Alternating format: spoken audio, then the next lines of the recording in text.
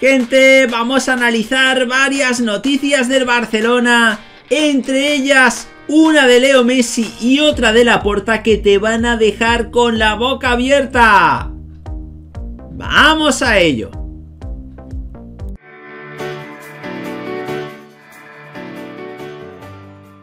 Hola de nuevo chicos, ¿cómo estáis? Bienvenidos de nuevo a otro vídeo para el canal. Vamos a analizar la última hora del Fútbol Club Barcelona. Vamos con varias noticias, por tanto te animamos a que te quedes hasta el final del vídeo, ya que nos dejes un buen like. Vamos sin más dilación a analizar la primera noticia y es que el Barcelona le ha puesto precio a Sergi Roberto.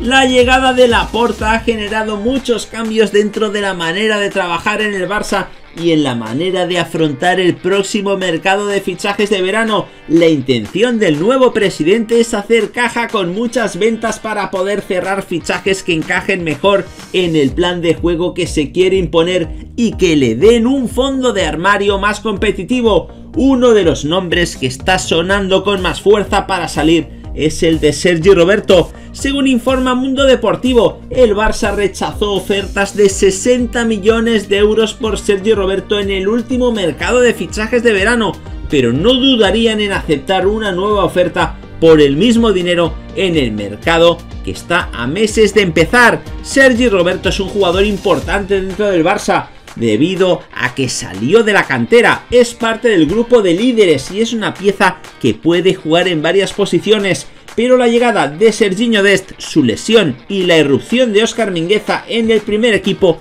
han generado que la directiva del conjunto blaugrana piense que es una pieza prescindible para la próxima temporada. Serginho Dest y Oscar Mingueza son piezas que formarán parte del futuro del Barcelona y Sergi Roberto parece estar cada vez más lejos de ser esa pieza importante que siempre era titular con todos los entrenadores. Y ante este escenario, el Manchester City vuelve a entrar a escena con la intención de hacer un gran movimiento. El conjunto de Guardiola fue uno de los equipos que mostró un genuino interés en fichar al lateral derecho español. La información que se maneja es que teniendo en cuenta la evolución del equipo, el Manchester City volvería a intentar el fichaje de Roberto, ya conociendo que deberá pagar 60 millones de euros. Por tanto, chicos, este sería el precio 60 millones de euros lo que pide el Barça por el canterano.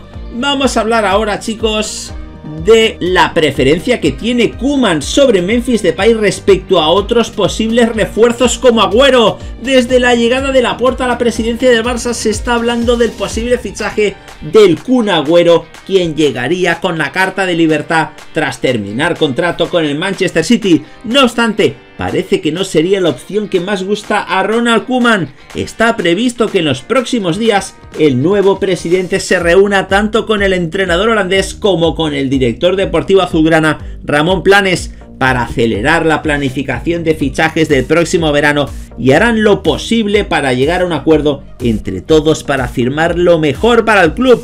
Como hemos comentado, el nombre que más fuerza está tomando en los últimos días es el del Kun Agüero, pero parece, según cuenta el diario Sport, que no sería una opción preferencial para Ronald Koeman, quien sigue empeñado en el fichaje de Memphis Depay, actual jugador del Olympique de Lyon que también llegaría con la carta de libertad bajo el brazo el próximo verano, dado que termina su contrato con los franceses el 30 de junio. Se trata de un jugador al que conoce a la perfección, más joven y más versátil que el argentino. No obstante, el Kun podría hacer que Leo Messi tomase la decisión de quedarse en el Camp Nou, lo que es una prioridad para la porta.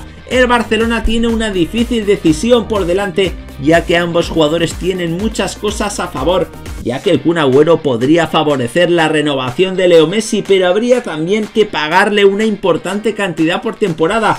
Por parte de Memphis Depay, tenemos un jugador goleador que puede jugar en varias posiciones y su salario no es tan elevado como el del argentino. Eso sí, su carácter en ocasiones es bastante complicado, por tanto, Kuman podría frenar la llegada de Agüero y facilitar la de Memphis Depay. Vamos a hablar ahora de la porta y es que ayer sorprendió a todos con Alkelaifi. y es que el presidente del PSG no puede ni ver al Barça desde que en 2017 el conjunto barcelonista intentara fichar a Marco Berratti. Los azulgrana hablaron con el italiano a espaldas de los franceses, que se lo tomaron muy mal y contraatacaron poco después. Al final los parisinos consiguieron mantener al centrocampista en la plantilla y le ofrecieron una jugosa renovación pero no olvidaron lo que había hecho el Barça y respondieron con fuerza. Los galos ficharon ese mismo verano a Neymar, pagando directamente su cláusula cifrada en 222 millones de euros. El brasileño se convirtió en el fichaje más caro de la historia y duplicó su sueldo en su llegada al Parque de los Príncipes.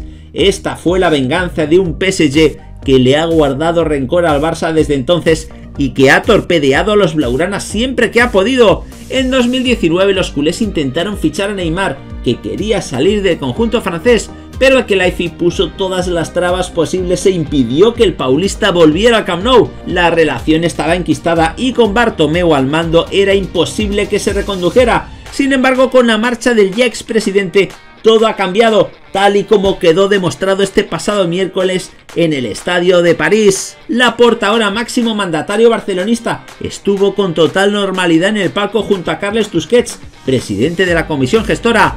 El abogado y empresario además coincidió con Alkelaifi que le recibió como jamás habría recibido a su predecesor.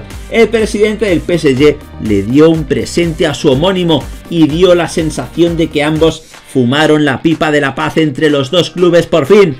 Quién sabe si este gesto servirá para que Paris Saint Germain y Barça puedan volver a hacer tratos con normalidad, que es lo que debería pasar entre dos grandes clubes en Europa. Desde 2017 era impensable que los culés pudieran fichar a alguien del conjunto francés, algo que a partir de ahora sí se podría dar. Al menos da la sensación de que los azulgranas estarán en igualdad de condiciones con el resto de clubes, algo que hasta ahora no era así. Por lo tanto, a los barcelonistas se les abre ahora la puerta de un PSG que cuenta con grandísimos jugadores que podrían interesar al Barcelona y es que podéis ver aquí esta imagen de la porta con Alkelaifi y Carles Tusquets. Nos gustaría saber vuestra opinión al respecto. Y vamos ya para acabar chicos hablar de una brutal noticia sobre Leo Messi. Y es que en la cadena SER hablaron sobre el futuro de Leo Messi y la posibilidad que está cada vez más cerca de que se quede y renueve con el Fútbol Club Barcelona. Desvelaron que ahora habría un 50% de posibilidades de que el de Rosario siga en la ciudad condal una vez termine la campaña. Comentó así el periodista José Antonio Fonsetti. Ahora mismo habría un 50% de posibilidades de que Messi se quede en el Barça. Y además reveló qué dice el padre del jugador con respecto a su futuro.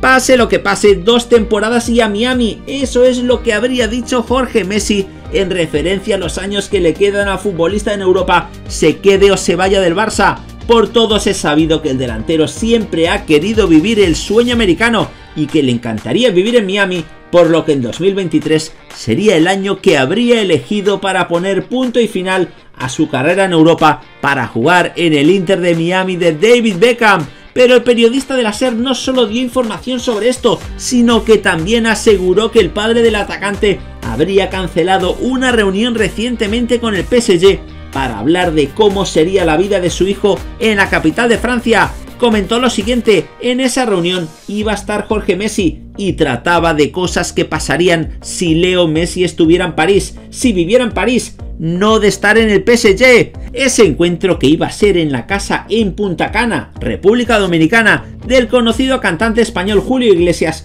fue cancelado por orden directa del Rosarino porque antes prefiere escuchar qué tiene que proponerle la porta. Dijo también la reunión no se produce porque se dice que si en las pasadas elecciones ganaba la porta se abría la opción de escuchar al Barça.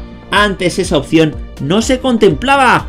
Queda claro que en estos momentos a Messi le seduce más la idea de renovar y seguir apostando por el Barça, algo que hace solo un par de meses parecía una quimera.